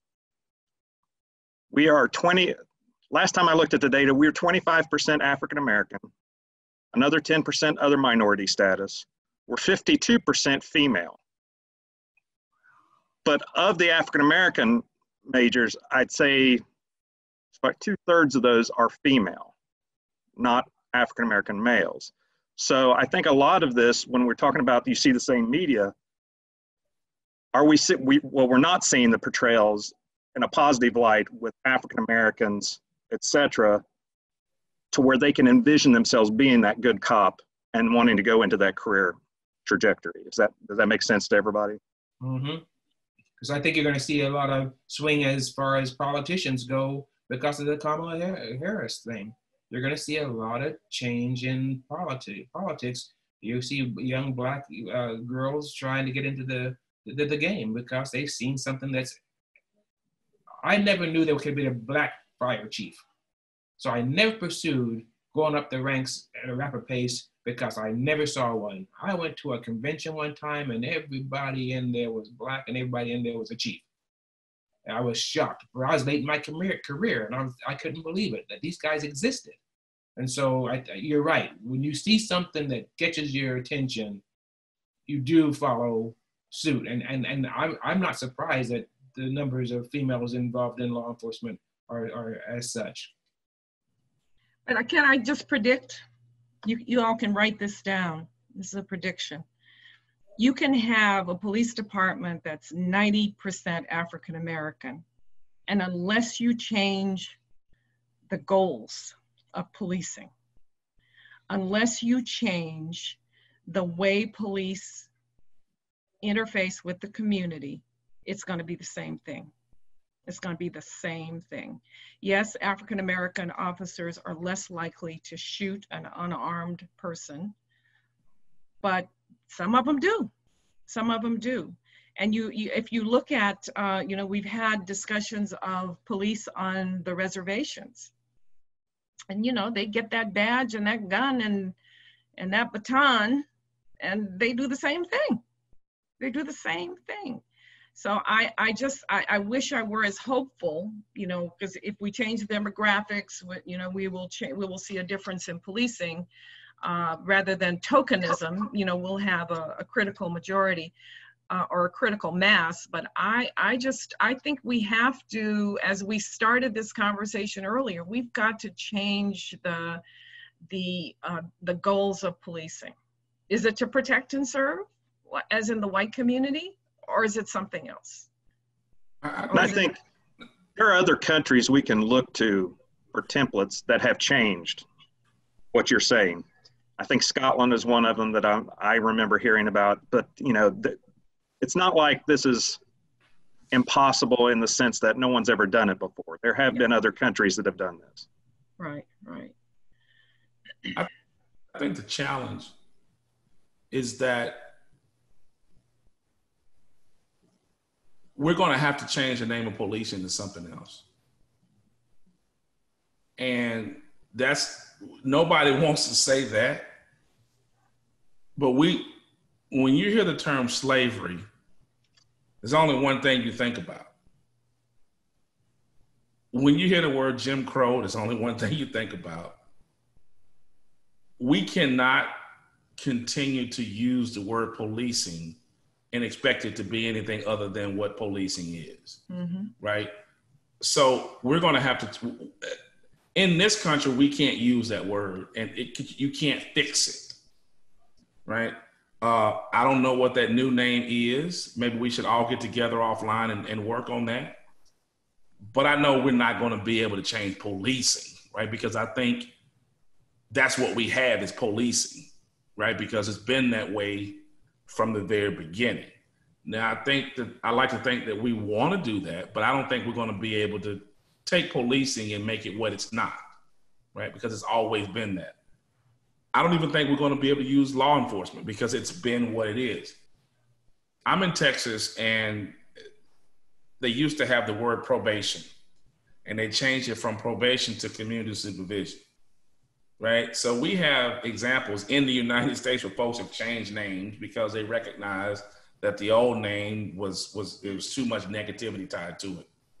Policing just has too much energy that's negative tied to it, right? Agreed. Uh, those those three little kids that was in that guy's car and saw their daddy get shot by the police.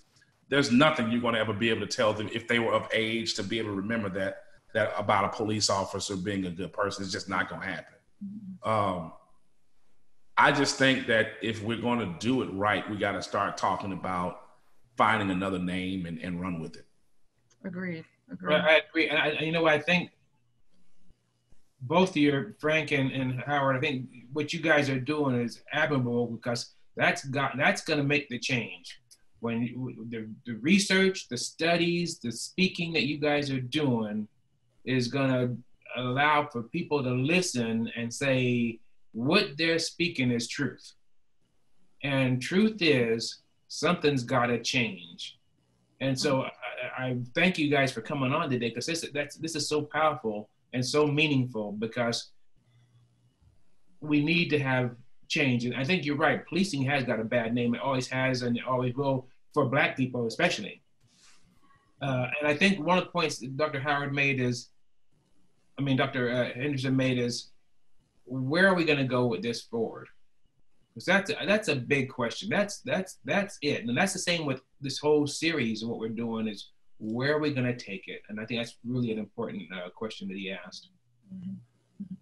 And, uh, Howard, you you mentioned uh, those those little kids. Um, of all of these images that we've seen, that you know George Floyd, um, Arbery, uh, all of these, to me, one of the saddest um, pieces of video was a little boy playing basketball by himself in the driveway of his home, and a cop car comes rolling by, and he hides behind his family's car he hides behind. Whereas if this was a white community, they'd be running up to the car, asking to turn the siren on, asking to have a ride.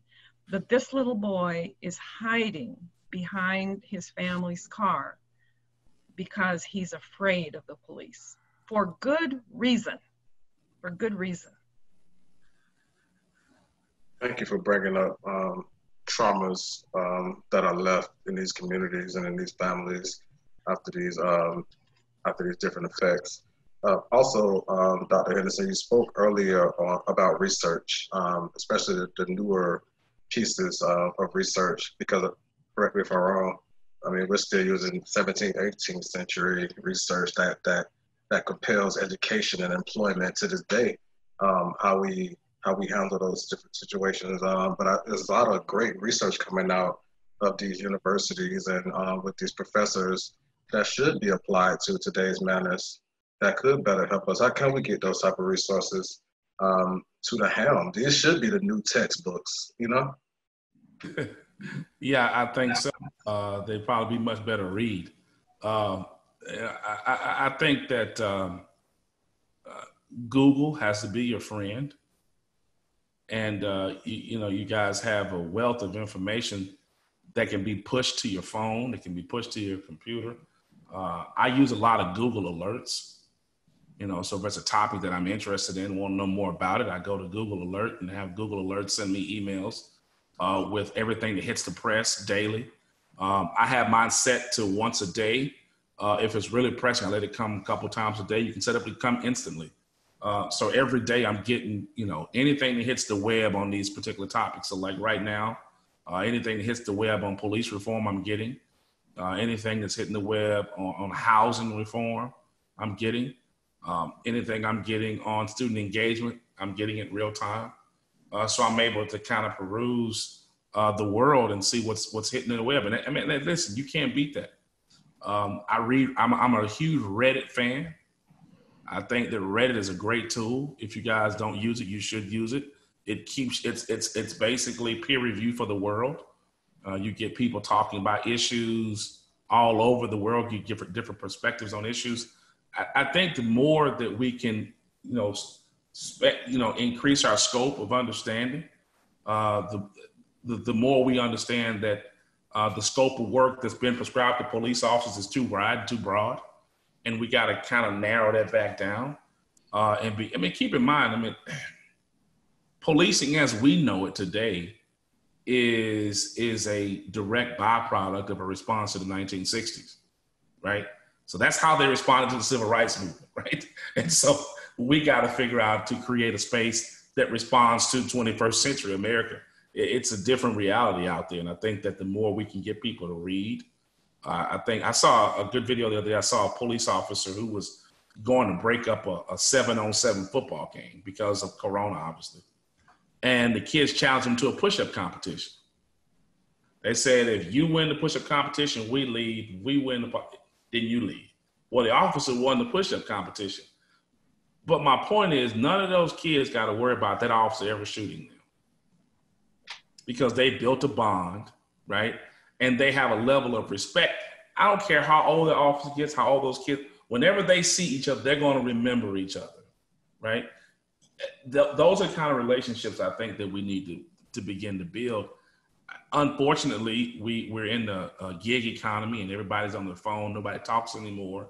We got to get back to that. We got to get back to people actually knowing folks' phone numbers when you get in trouble. Uh, I'm working with some some brilliant high school kids. Um, they created an, an app that alerts your family when you're stopped by the police. And the app tells your family where you are, and then it automatically turns your cell phone video on. So, it, so you ain't to worry about it. So the problem is you got to click the button. I said, ah, we got to figure out a way for you guys to know the police are there and they come on automatically. So we're working with them trying to work through that kink but we, we got to be creative and use technology to our advantage. And I think we, again, but we need you guys to keep doing more of this kind of work though, because these conversations, man, they, they're critical. They're Thank critical. You. and what happened to community policing? That was that was good. That, I think that was a good. You're right because if you know who your local officer is in your neighborhood and you see him drive by every day and and he knows who the knuckleheads are and he knows who the good people are, that that was a somehow kind of trickled away. I don't know if it was numbers or or what it was. Well, there was usually just one person at the station, though, that's a community police officer. He's the good guy, right? But then you've got 50 others who are calling him, as they did me, communist. So instead of community relations, I was communist relations. Because they did not believe that uh, that the the police should be doing you know night basketball or going to to you know luncheons or whatever. Didn't believe that at all. So that's your job mary. That's your job. And we're going to go out here and fight crime.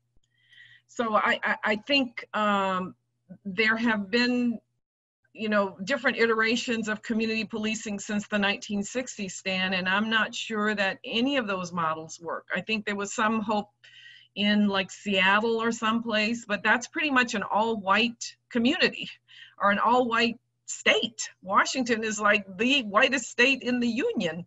And so it's it's easy to be a community police officer uh, and and and to and to adopt that model uh, but when you're talking about South Central LA, I, am not so sure, or, or the west side of San Bernardino, not so hopeful. I hate to be, you know, um, uh, Debbie Downer here, but I think we have a lot of work to do. I don't think we, as we have suggested, I don't think we have the model uh, of what can be. I think, you know, it's, it's up to our imaginations what can happen as long as we we can get our politicians, our school officials on board. Uh, you know, and we have schools that have more police officers than counselors. Um, you know, we've got we've got some work to do. Thank you all. We have enough time for uh, one more question coming in from our Q&A before we go on to closing remarks. And um, this comment is coming in from Andrew, and it's for um, Dr. Henderson, and I'm sure others could chime in as well. But is it possible that by changing the name of policing or law enforcement, it could cause further frustration because many could see the name change as a way to deflect away from the issues within the policing force? I, I think uh, That's possible, but I think in the name change, you also are able to redefine the scope of work. And that's what we want to do is redefine the scope of work so that we can hold them accountable. But it's it's going to require a Supreme Court to wake up and do something about it. They've been very silent, and I think we understand why they've been silent. Um, we got to go back and revisit this whole notion of probable cause and reasonable suspicion. Uh, we got to be able to deal with police accountability. Um, and we got to get away from looking at officer intent uh, when there's an obvious violation of, of, of, of, of a person's civil and, and constitutional rights. Uh, our system is not based upon that reality. Uh, we assume that people are, um, if people don't mean to harm you, then uh, they should be let off. And that doesn't happen the same way when it's a citizen harming someone unintentionally. A lot of times uh, you have non negligent uh, ways of, of, of, of, prosecuting people. I think we need to be able to hold the police to the same standard, but in that, re- that new definition, I think we're better able to hold police accountable. And I would add to that list, um, Dr. Henderson, uh, qualified immunity uh, which is uh, which which just uh, is a is a boogeyman in terms of uh, how police officers get away with the kinds of things they get away with. Uh, you know, we have, and we've spoken on this panel before uh, about the the DA in Los Angeles, black woman Jackie Lacey, and and you know, I kind of hope she loses the election to a white man because she's she's uh, and and he's a very progressive um, reformer running for for the DA, but she has not she has not prosecuted one police officer for use of force. Uh, in the in the four years that she's been in there, and the Black community is all over her. Latino community is all over her and that sort of gets back to my argument that you know you can have a white person in the role or a black person in the role but if the you know if if they have if you got the same rules then uh, there you won't see any change a name change in the sense i had the, um, the opportunity to speak with the police association um, earlier this year when i was running for office and um, we were talking about. Uh, I was talking that uh, you know we was just throwing out gestures of how we can um, better negate crime in the communities. And I, I, was talking about you know putting more patrol officers, I guess they call them um, peace officers, I, I, I assume, um, in, in, different areas just to show more frequent uh, uh, visibility to officers in, in certain areas. Maybe um, that could be a suggestion to negate crime in those areas. But um, the officer um, commented that uh, you think these residents don't know the difference between an officer and a, a peace officer? You know, it, it comes down to a respect level of what I know I can get away with with this officer, and I, and I wonder what a name change um, almost um, bring on that same conflict when it comes to, you know, if we if we renamed all officers peace officers, you know, would it would it would it put them in a better light with the community as far as uh, their abilities to handle situations, or would it uh, bring on a different dramatic role in the communities uh, when facing um, police officers as well? So um, I just remember having that conversation with uh, members of our police association earlier this year, and um, there's, there's many different ways we can we can practice negating crime to negate crime in different areas. And welcome back, um, Dr. Wilson. I see you got cut off for a second. Um, I don't know if you heard the question that you had. Did you, did you want to chime in on it? But it, um, the question was uh, focused on um, name change um, when it comes to law enforcement and and um, would it create more frustration with the community, basically deflecting, you know, what's really at, at hand here when it comes to law enforcement and the communities they serve. I think it, it's going to depend on the. I don't know what was said while I was gone, um, but uh, I think it's going to depend on the community um, in which that law enforcement agency exists, or potentially mandated from even above them to where it's all police, all law enforcement has to make this change at once. And that sounds drastic, but I remember back Uh, the Prison Rape Elimination Act was enacted back, uh, what year was that, Howard? 2003 or so? And part of that legislation forced all, the federal government set their standards. And in, to ensure that all states adopted those standards, they stated that if you do not adopt similar standards to protect individuals, you will no longer receive federal funding of any sort. So there are ways to force it down the pipeline to, to make some changes.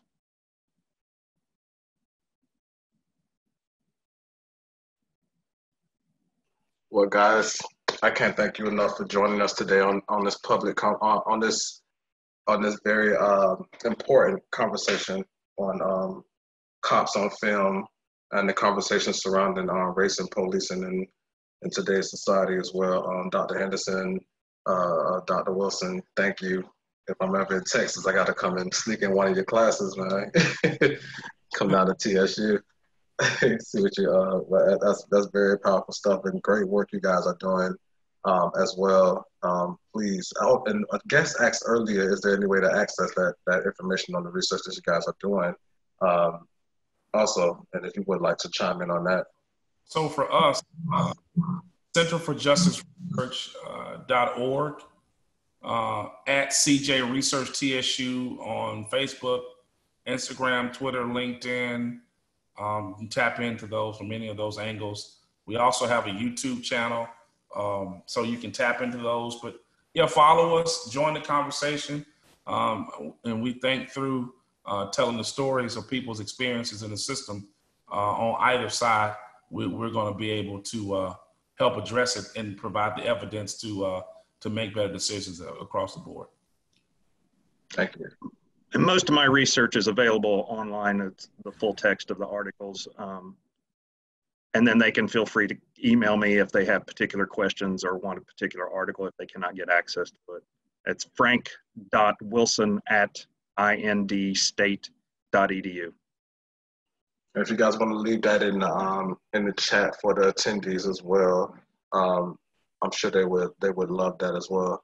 So we've taken up enough of your dinner time. I'm gonna go into uh, you guys are over on the on the Eastern time. So uh, we're gonna go into closing remarks. Um, don't forget, guys, um, next week panel we'll return to our regular Wednesdays at 4 p.m.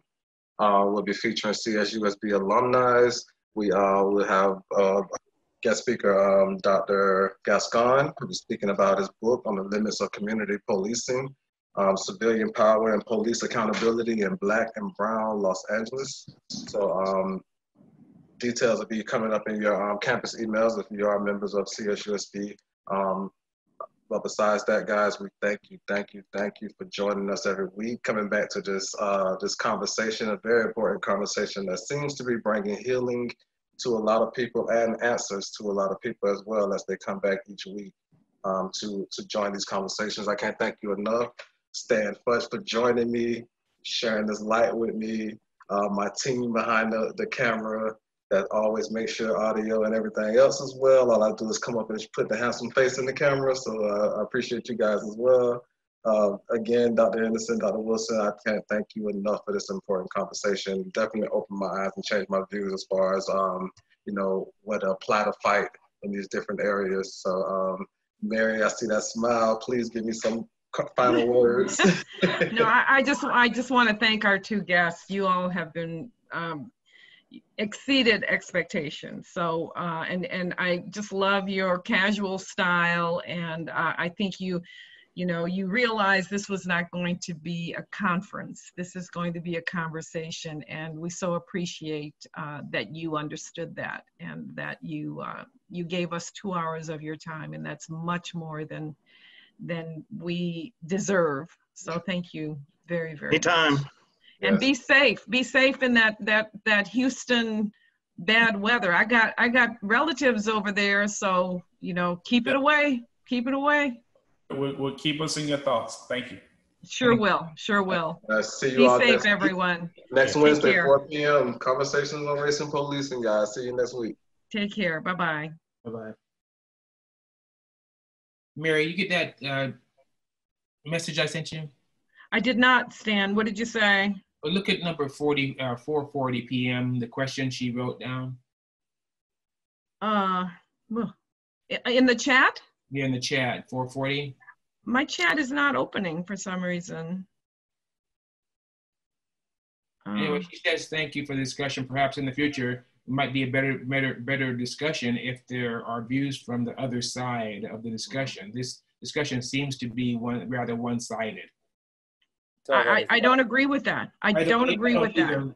I You know, either. we, we have a media that, that, you know, the cops' voices are the loudest. You got the White House too.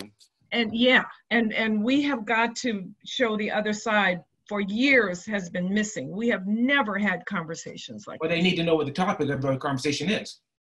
That's, that's the number one. What do you mean? What do you mean? What, what, what's what's the name of this this uh, meeting every every week? Well, it's race and policing. exactly. So obviously, the person who's wrote that doesn't realize that they joined the conversation in racing and racing. If they want another side, they won't. I get see. I see what you're saying. I see what you're saying. Yeah. No, I, you know, I am not, I, I- I'm, of course, I'm only one voice, but I, I don't agree that we should have chiefs of police on the panel because what are they going to do? They're gonna, they're gonna chief of police, right? They're, they're, they're gonna tell you how wonderful their department, you know, should we, should we move over, Jeremy? That's a good idea. Yeah, because I think we still have some participants. Dan, did you get the email to move over? Yes. Mm-hmm. Okay, Should've come okay, through. so why don't we continue the conversation over there? I think it's a great question, Stan, so let's, let's finish it over there. All right, thanks everybody Okay. for joining. Thanks, everyone.